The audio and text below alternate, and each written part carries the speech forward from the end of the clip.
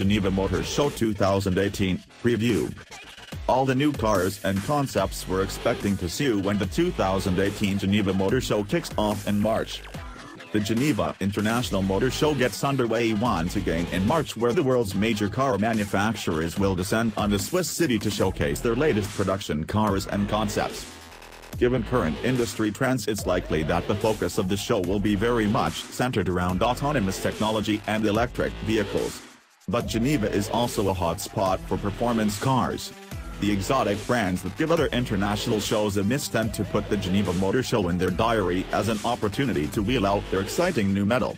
The big reveals we're expecting to see at Geneva this year include the new Audi A6, Kia Ceed, the Mercedes A-Class, Toyota's Supra and the Volkswagen Touareg but there'll be a whole lot more new production cars and concepts when Geneva 2018 opens its doors, and there's always a surprise or two.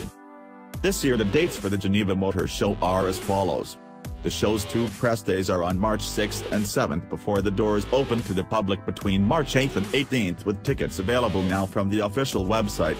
The preview events where manufacturers treat the press to sneak peeks at their show stars will kick off on the evening of March 3rd and as always the Auto Express team will be out in force bringing you the best coverage. Geneva Motor Show 2018, Manufacturers A to Z.